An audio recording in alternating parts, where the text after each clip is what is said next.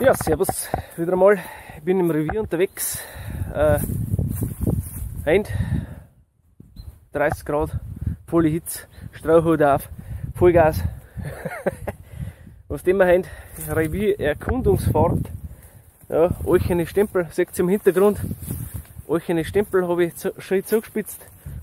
Borkenkäfer fallen, da ich aufbereiten. Ja, die hat es umgehauen.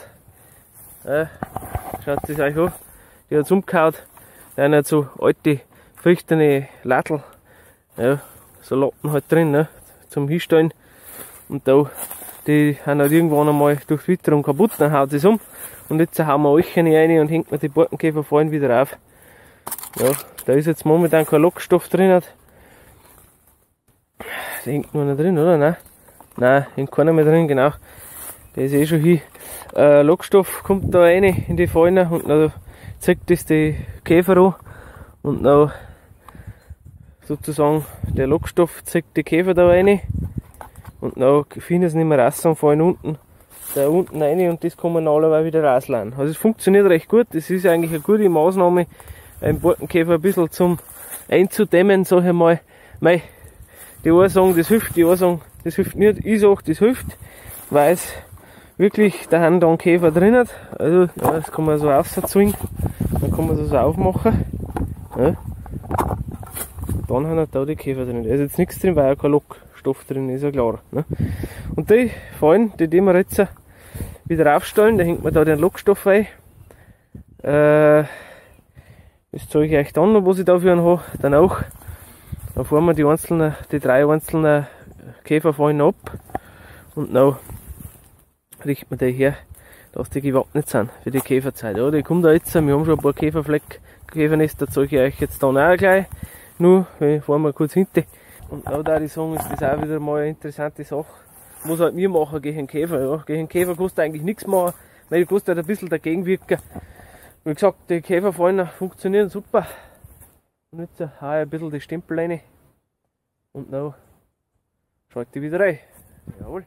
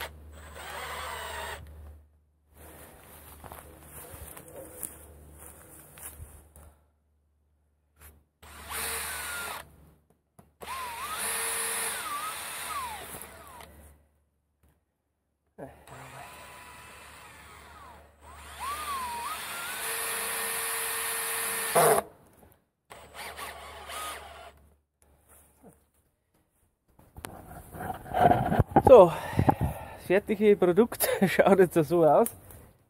Aufgestellt ist, ja, Klon ist noch nicht, sagen wir es einmal so. Die alten Ampullen liegen da. So schauen die aus. Ja. Und die neue schaut so aus. Ferroprax heißt das. BASF. Ja, das ist auf jeden Fall, steht drauf, Anlockung des Buchdruckers. Also für den Buchdrucker, da gibt es mehrere verschiedene Lockmittel, aber wir nehmen aber Ferroprax. Da hat eigentlich alles ganz gut ausgestellt. So, das werden wir jetzt da mal ausbackeln. Ja. Aus den Dingerl da. Und dann hängen wir das dann da rein. Das neue. Da habe ich so einen Traudieb gemacht, dann hängt man das da drüber. Mache ich jetzt einmal. Also das heißt, das da aufmachen. Natürlich, wie das schön verschweißt. Gell? Ja, gut, dass man eine Taschenmesser dabei hat. Dann machen wir mal das auf. So. So schaut das aus. So, die Ampulle drin. Ja, stinkt da auch entsprechend. So schaut es aus. Und noch da reinhängen. Oh, stinkt das echt, leck mir Da drüber über den, äh, die Rot. Und noch da rein damit. So, dann hängt das da drinnen. Dann kann schon anlocken. Ja. Ja. Da sieht man es. Hängt es drin. Dann fliegen die da rein. Und dann finde es nicht mehr essen, dann fallen sie oben, weiß ich nirgends äh, einen Halt finden, weil das alles ein glattes Plastik, dann fallen die da oben. Und jetzt muss ich bloß noch unten das drum hier, ja, Deckel drauf, da ist der Deckel drauf, dann fallen die da rein und kommen nicht mehr raus. Und dann haben die da unten drinnen gefangen und da kann man halt dann schauen, was Sache ist. Ja. Da. Geht das, ganz einfach. So, ja, so soll es natürlich nicht sein. Ja. Abgeben. Wir das richtig rein. Jo. Mit einer Hand gell, ist es halt aber schlecht. Aber das geht schon. So, jetzt. Ja, und schon ist der Klon. Zack. So. Fertiges Produkt. Klon. Die alten Ampullen haben vorbei. Halten in der Regel so drei Monate. Ja, drei Monate sagen wir mal. Ja, den nehmen wir mit. Das ist Abfall. Und der kann schon locker. Und dann schauen wir mal, was drin ist. Ja, ich habe es jetzt ein bisschen schief aufgestellt, dass das Wasser wenn es jetzt da ringt, da ringt so rein, dann kann das Wasser da rumlaufen und, und läuft da unten bei dem Lächelwasser, da handelt so Lächel drin. Ja, dann ist das auch sauber. Ja. Jawohl, gut. Dann da ich sagen, fahren wir noch hinten zu unserem Käferloch. Da könnt ihr noch mal schauen. Viel ist nicht unterwegs momentan Käfer bei uns. Das hält sich alles in Grenzen, da ich sagen. Ist alles überschaubar. Da haben andere schon viel mehr Probleme. Ja, fahren wir schnell zum Käferloch hinten, zeige ich euch das. Und dann schalte ich wieder rein. Jawohl.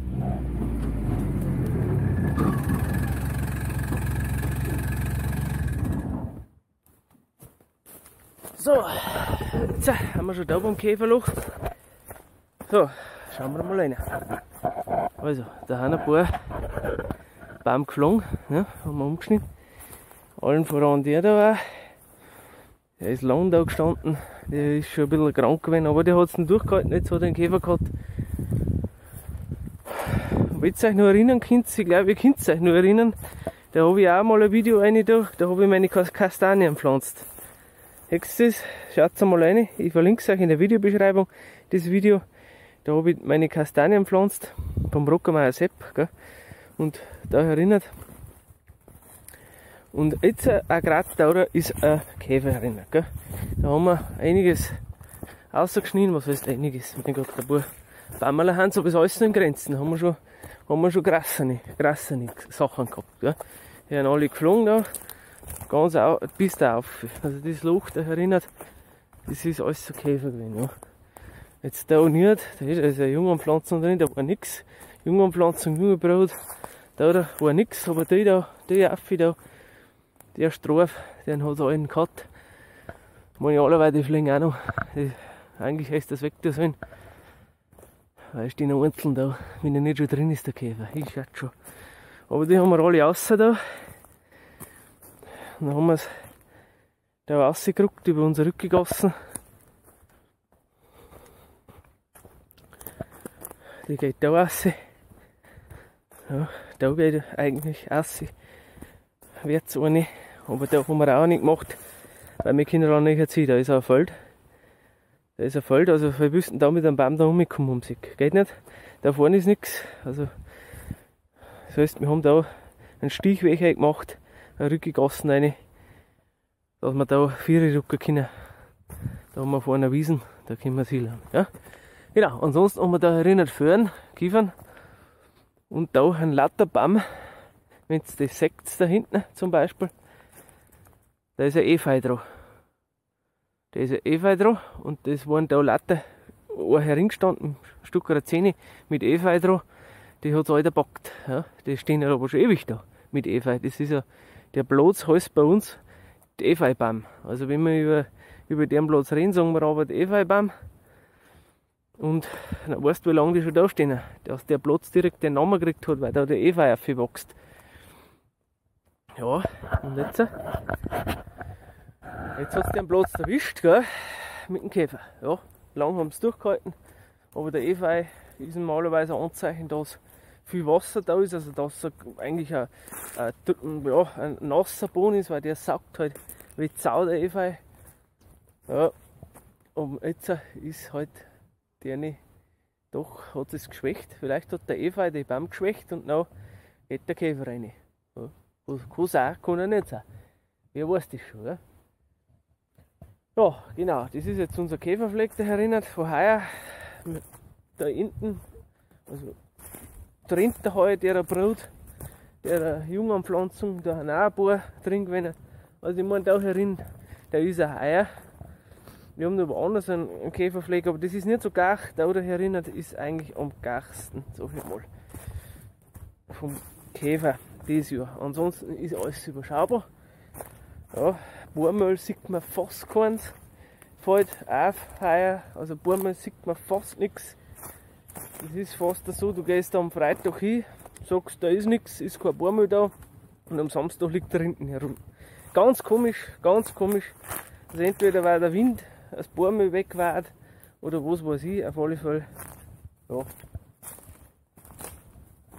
Auf alle Fälle ist der Käfer, der lernt mit, ich sag's euch, der Käfer lernt mit, der, der ist schlau, der ist schlauer wie wir Menschen. Ja, so, und jetzt fahre ich nur zu den anderen zwei Käferfallen und dann mache ich den noch mit den Stempel und ist Feierabend behind, gell? Ja, mit dem Gator unterwegs. Ja, schaut's nicht an. Top Gerät für sowas, gell? Kannst reinfahren, kannst fahren in die Rückgegossen, was du willst. Schön euch ein Stempel dabei. Ja, das ist mein Werkzeugkistel. Schaut es euch an. Werkzeugkistel. Ja, ich kann mir nicht einmal ein Werkzeugkistel leisten. Ein Karton. Ein Karton oder. Nein Gott, nein. Ist der ein Droger. ja. Wer einmal, wer einmal ein gescheites, mir ein gescheites Werkzeugkistel sponsern will, der schaut einmal in meine Amazon Wunschlisten rein. Da habe ich auch nicht drin. Der kann einmal, der kann einmal runden ausgeben. Ne? Habe ich ein gescheites Werkzeugkistel und muss nicht mit einem Karton anfahren. Gell? Das geht ja nicht, das geht ja nicht. Gell? Aber mei, Waldbauern haben wir kein Geld nicht. Gell? Also, dumme, dummes Geschmatzerei da, fahren wir weiter. Da haben wir irgendwas zu Weg bringen. Gearbeitet wird, verstehst du, was geht? Alles klar. Also, bis gleich. So, haben wir schon da an der zweiten Käfer fallen. Ja, die Stempel schauen noch, noch besser aus jetzt. Die legen wir drin. Meine, da hängt mir bloß ein neuer Lockstoff rein. Die, die halten noch ein bisschen her. Ja, gut. Ah, ja, na ja. Ja, ja, gut. Halten schon noch her. Da hängt man Lockstoff rein, weil der Lockstoff, meine, der ist auch schon fast verbraucht. Ja, den haben wir auch schon länger drin. Hängt man ein Ding rein und dann passt das, meine. Ja, ja, ja, ja.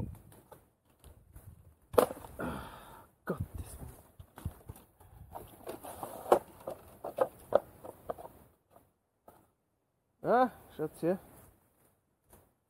Da haben sogar Käfer drin. Ah, gutes Beispiel.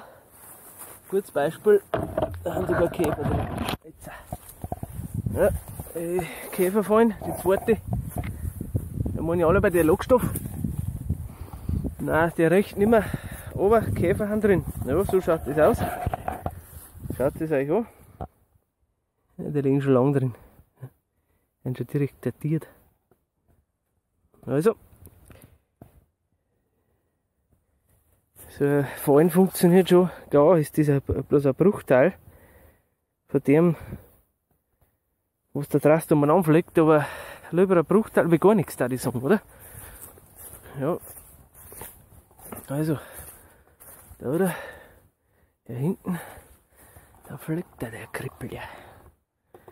So, das leihen wir jetzt aus. Weil hier sind eh schon alle wie das so sieht. Die haben alle schon, schon gebrutzelt. Ja, die lassen wir raus. Wenn jetzt da noch lebende waren, dann müssen sie einen Sackel rein tun, dass halt alle verrecken. Ne? Ist halt so, ist ein Schädling. Leute, das ist so. Der macht unsere ganzen Feuchten kaputt. Das ist so. Und das nicht wenig.